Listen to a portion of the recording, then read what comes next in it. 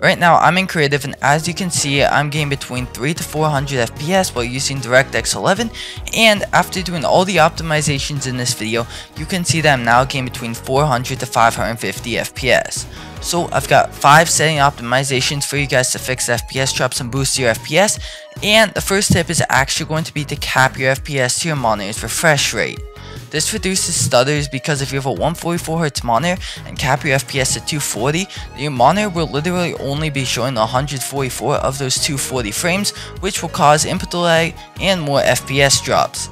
On top of this, it's physically impossible to see all 240 FPS since your monitor is only showing 144 FPS. Next up for tip number 2, this is going to be to turn off all the programs running in the background. Basically, what this does is stop Windows programs from running in the background, ruining your FPS while you play. So, to turn it off, go into your Windows settings at the bottom left of your screen, then navigate over to the background apps and turn them all off.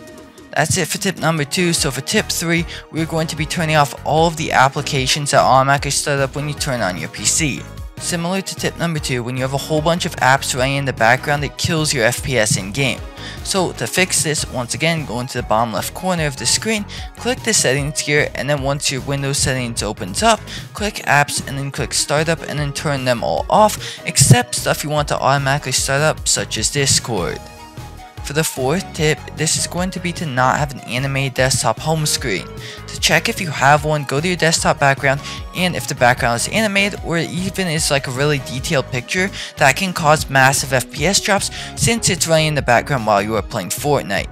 So just change it to the Windows default home screen like I have it or something that's a really simple picture. That's going to be it for tip number 4, so for the last tip is going to be to play low mesh performance mode. Using low mesh's performance mode as well as all the other optimizations in this video, I now get over 100 more FPS than I did before. Make sure to like and subscribe if this helped you out, and peace.